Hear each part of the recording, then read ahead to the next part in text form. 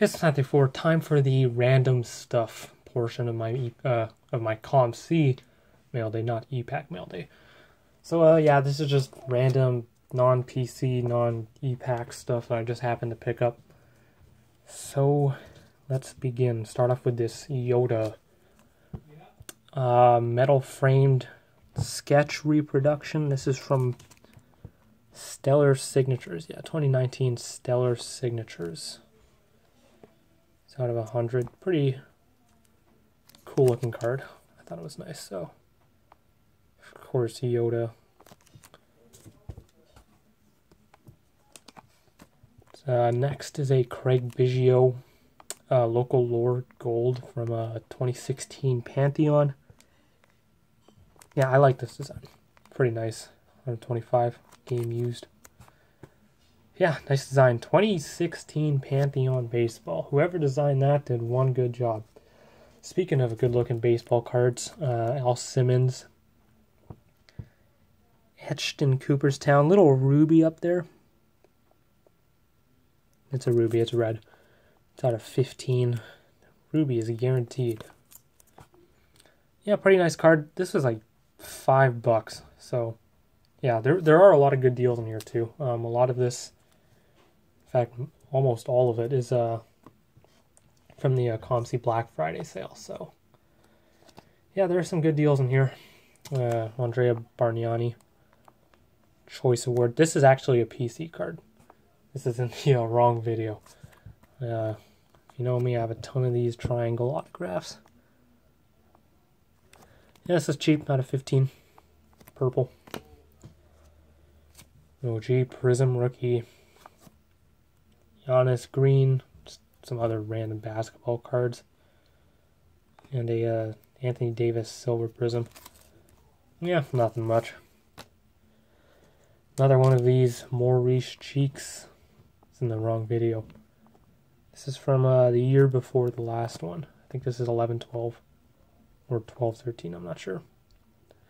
This is the uh, silver, I think it's just called silver out of uh, 25. The Shaq Pristine Gems. This is a good looking card. From Topps Pristine, early 2000s. If you're wondering why Shaq's picture looks a little weird, it's because the uh, the jersey is actually reflective. Typically, with the uh, with Chrome cards, the player themselves not actually reflective. Like you can see, you can see Shaq's skin does not like reflect like the uh, rest of the Chrome does. Typically, they don't do that with the jerseys, but they did here. So, you know, it's cool. It's like five bucks. Pretty nice looking card. Why not? On to some football cards. And then Jadeveon Clowney. White gold out of 199. Cheap, pretty good looking card. Why not? Another cheap, look good looking card. Sterling Shepard uh, out of 299 gold. I think this is 2020 luminance, I'm pretty sure. Yeah, pretty nice picture. I like it. This was flagged as EX to near mint. I'm not seeing why it was flagged as that. The card looks fine to me, but whatever. It was cheaper because of that, so it ended up working out in my favor. So, yeah, nice picture. And this was cheaper, Shard Mendenhall. Patch, game used. Pretty nice patch. It's out of, what, 10? This is like a dollar seventy-five, so why not? Not the uh, most collected or valuable player, of course, but a nice card. Another one that's a nice card. Isaiah Pead out of five, like silhouette patch from Topps Supreme. This is a few bucks. You know, why not? If the if it's a nice card like this, I'll typically pick it up. As long as it's cheap, of course. Yeah, pretty cool. This is a good looking card. Jalen Reagor supercharged from 2020 uh, elements.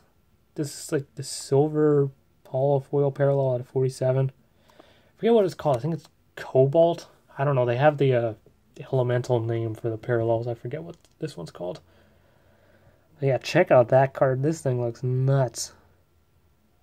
Super nice patch too. Although it's probably not even player worn. It's uh, a yeah, enclosed authentic memorabilia is not from any specific game or event. Doubt he even wore this, but whatever. Yeah, pretty good looking card. Check out that design. Only if Upper Deck would do some hockey cards like that. Those would be nice. Another nice card. Deon Cain from Panini 1. Uh, this is like the gold parallel out of 10. Hard to see, but once you see it in the light there, you can see it's all, got all sorts of cool looking texture to it. It's a pretty cool card. This did come in the one touch, by the way. Uh, but the one touch was scratched to hell, so I just took it out and left it at work. So, yeah, it looks nicer out of it anyway, so... Yeah, this is some another Black Friday card, super cheap. Same with this, Ozzie Newsome. Game used, uh, jersey number, jersey parallel from Immaculate. 42 of 82. Yeah, Immaculate cards are nice. Pick that up. Of course, not the uh, greatest condition, but as I said in my last video, all all card companies have problems when it comes to thicker stock acetate cards and quality control. You can see all sorts of scratches and smudges and whatnot. It's just how it is. Game used, pretty cool. So that was like three bucks Black Friday. So yeah, I like game used old school stuff. Now on to some hockey. Uh, Regal Achievements, Modano, and Crown. Pretty good looking card. Super cheap. Pavel Buchnevich autograph gemography from, I don't know, 1819? Yeah. 1819 Black Diamond. Another cool looking card that was super cheap. Love my old school, old, I love my old school memorabilia. Here's one of them. Paul Coffey Colossal out of 50. There were four of these up for I think 350 and I only picked up one. And I regret that. Uh, there was um, three black pieces and one white. And I got the white. I should have bought a black too. Oh well, whatever. Nice card, of course, game used. Yeah, ignore all the fingerprints. My hands are freezing. It's cold in here. Uh, Premier swatches of Clayton Keller out of 99. This was like a dollar. A few more uh, Premier swatches. This is from 1920, the most recent Premier release. Pastrnak, Pedersen, and Barzal. These were super cheap. These popped up for so cheap. I think these two were three dollars each, and this was like a dollar ninety, something like that. These weren't even on Black Friday sale. These just popped up, super cheap. So I picked them up. Nice cards. Pastrnak sold very very well because he doesn't have a whole lot of rookie cards. So it's probably like a $15 card. And the last card is this Kenneth Dixon uh, black gold team logos. Of course, one of one. This was cheap, not even $10. I think it was like nine thirty, something like that. As you can see, very scratched. Uh, there wasn't a condition note for this, so scratches I'm not all too pleased about, but whatever, super cheap.